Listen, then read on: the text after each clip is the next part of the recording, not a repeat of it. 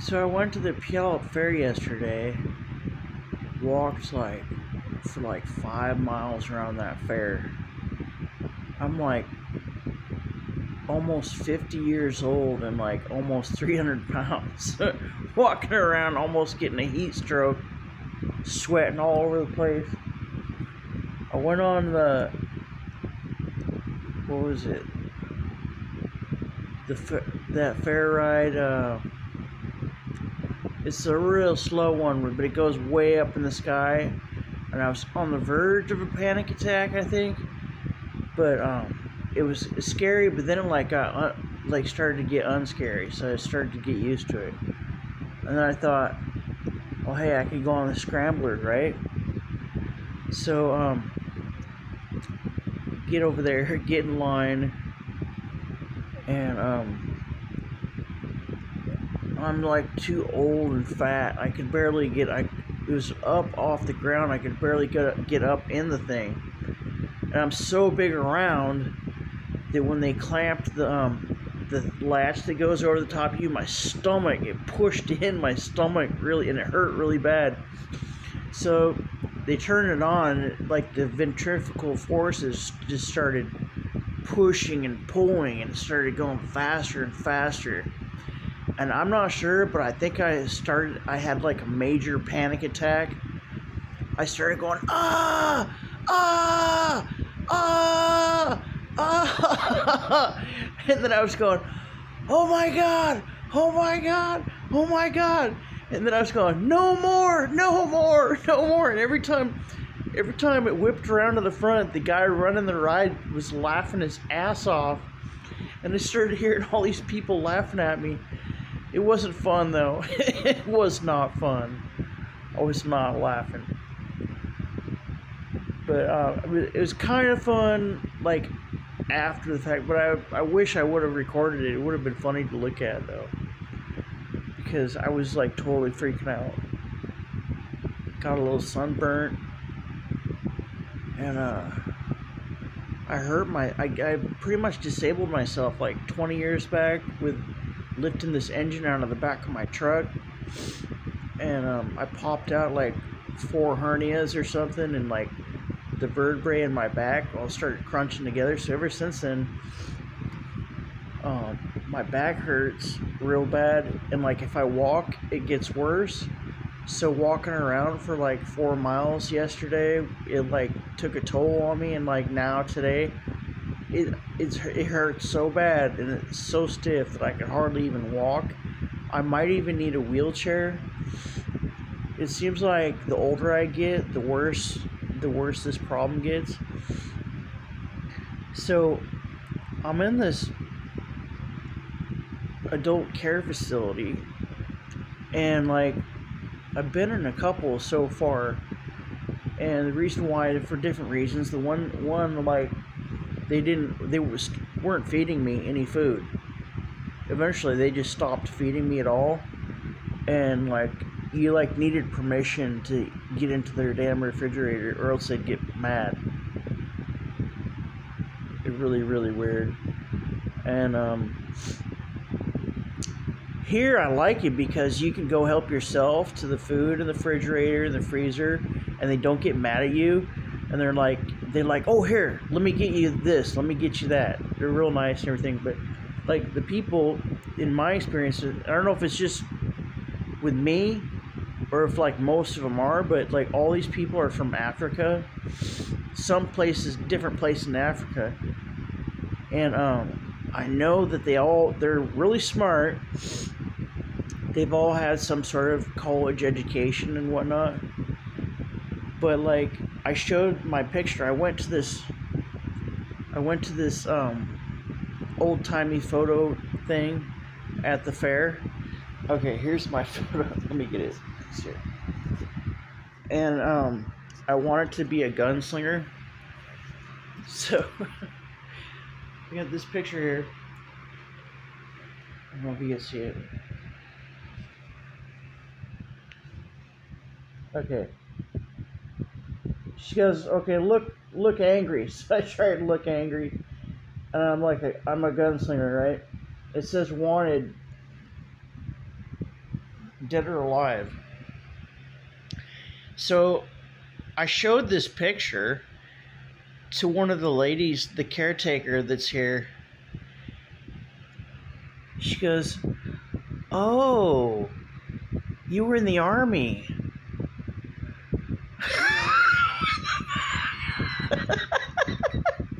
Does this look like any kind of military photo to you? it says wanted dead or alive right on it. And it doesn't even it doesn't even look like a military photo. She's like, "Oh, I didn't know you were in the army." you gotta be dumber than a box of rocks and a bag of hammers. it's pretty funny though. I wasn't expecting that. Oh, you were in the army. Like what? But um so I'm in this shelter. For how long? I don't know. Um I know I'm being poisoned with parasites. And I am been getting like these uh, bouts of like getting real real dizzy especially if I cough or I sneeze, I get really, really, really dizzy for a while, and then it, and then it comes back. So I don't know what's going on with that, but um, I didn't see any little piggies at the fair. I wanted to see the little piggies, piglets. Like if I if I go next month, I don't know if I will because I almost spent damn near two hundred dollars and I basically got nothing out of it except like torture. But um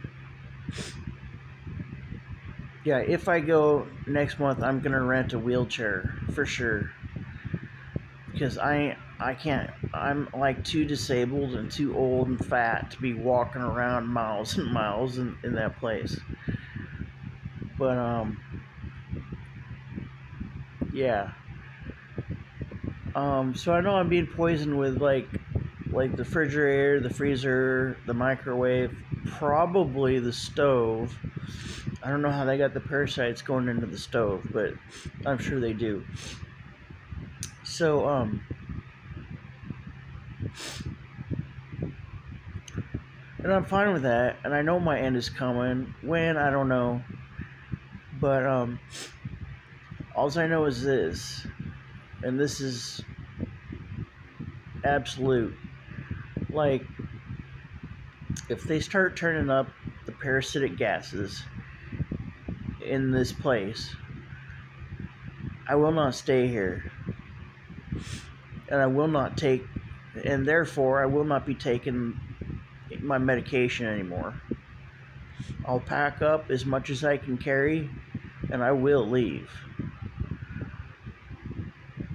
But, you know, I don't I, I I don't mind if I if I die here. I don't mind if I die in this place. It's fine because I'm I'm too old and too tired to keep on going on the way I've been going on. It's it's I'm under so much stress and strain that I feel like I could snap. And I'm trying to deal with it. The the stress of um, being murdered by the FBI. It's so great that um, just like I don't know. I mean, I don't know how I could how I could take take it for as long as I have, really. But like, if I if I went to the hospital again for some reason, and they wanted to give me an injection on the left side, an injection on the right side, about four or five of those speckled egg pills that are all parasitic and like shut down my kidneys. I, I would gladly do it. I would gladly take take the medication and end myself because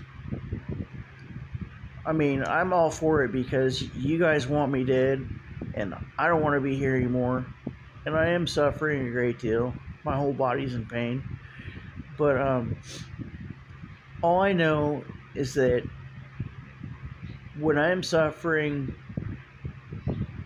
way too much, God's going to know when it's time.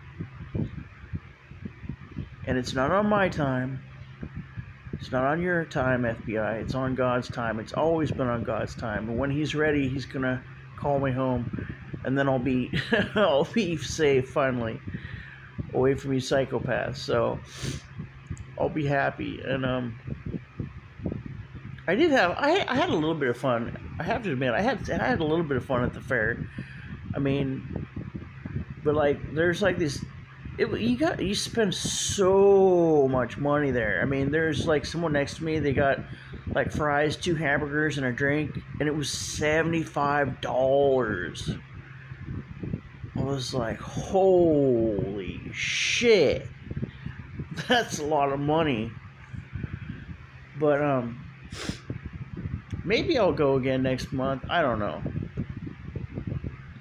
But yeah, I mean, if I can get a wheelchair, rent a wheelchair out, then maybe I'll go.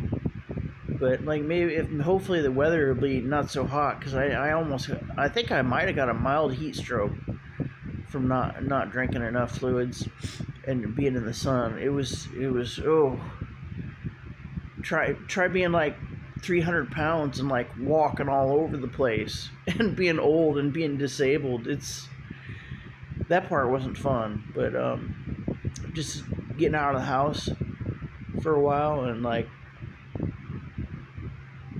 walking around out and like pretending things are normal. Things aren't normal because I know I'm I'm being executed with parasites, so things aren't completely normal. But um, at least I got a good attitude about it, right? I mean, when God's ready to call me home, He's going to call me home, and I'll be safe. And I, I'm, I, I'm dying. I'm dying to meet the man who's been helping me this whole time, because he's been helping me this whole time. And like, things would be so much worse for me if he wasn't with me and helping me. I swear, it would be so much worse. If I was guilty of doing the things that the FBI thinks that I that I'm guilty of, he wouldn't have helped me. There's no doubt in my mind. There's no way he would have helped me, but he has. So I'm like, I'm really happy about that. But, anyways, that's enough for now. You've looked at my ugly face long enough. See y'all later.